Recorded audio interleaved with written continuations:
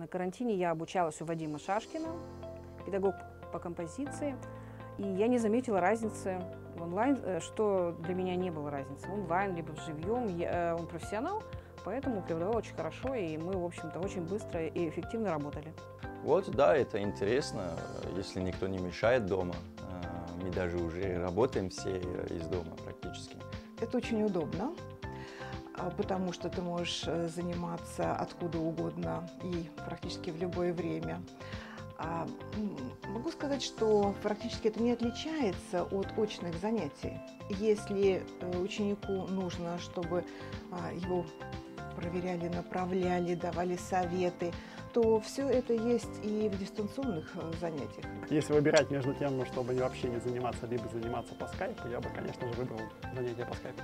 Bonne chance et profitez-en.